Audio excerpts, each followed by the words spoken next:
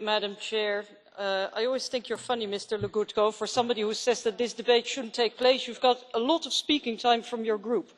Um, having this debate this is a very personal uh, remark in this debate today, my thoughts go to my former colleague, Bronislaw Geremek, who sat next to me for a number of years, and he's always been a big hero of mine when I was still a student, and I was ever so proud that he was my colleague.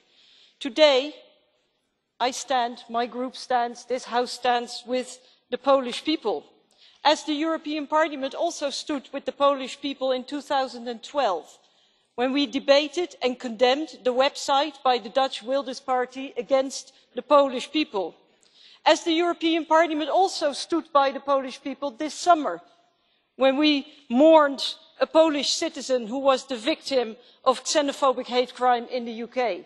We stood by the Polish people then.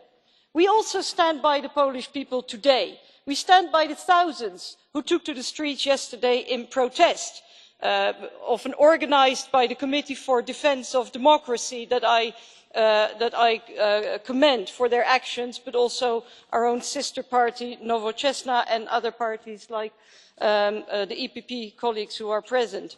They are protesting against the erosion of their rights because like all eu citizens dear colleague, polish citizens are entitled to an independent judiciary. polish women like other women are entitled to protection against domestic violence. polish women like other women are entitled to free choice and to decide over their own bodies. polish people have a right to the freedom of assembly and the freedom of speech and freedom of thought mr legutko.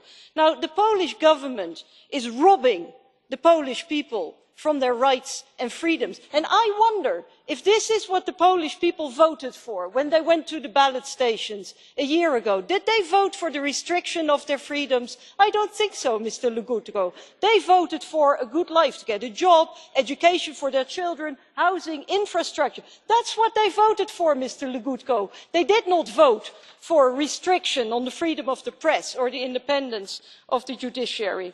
And finally a question to mr timmermans you have been criticising the polish government but i would like to know what you are going to do because in your uh, letter of july twenty seven july i am coming to a conclusion madam president you describe the situation in poland as a systemic threat to the rule of law.